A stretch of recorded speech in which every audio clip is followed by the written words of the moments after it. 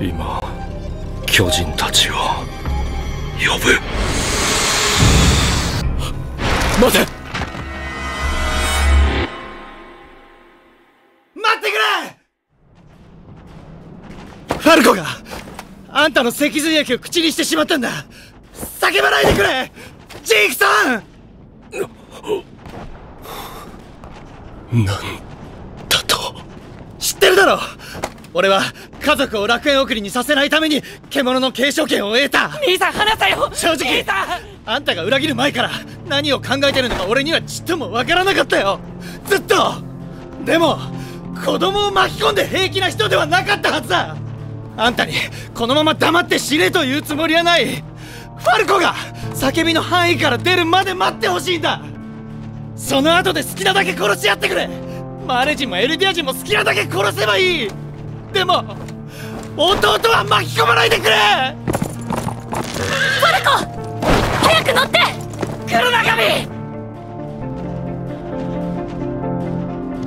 壊れた弟を思う気持ちはよくわかる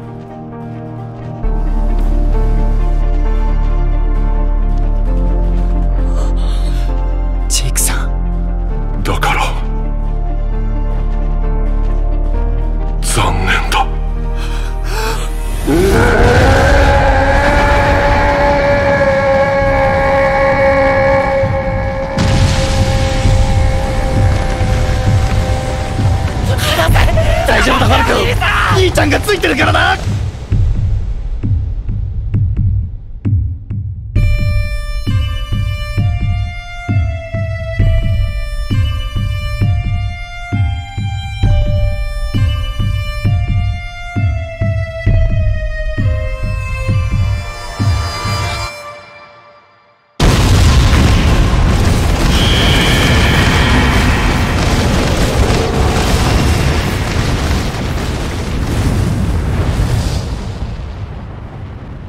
なんだ敵が巨人化したのか。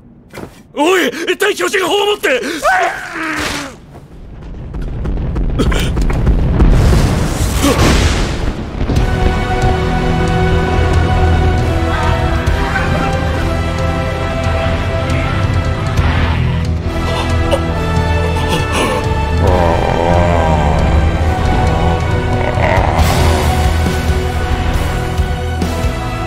열애.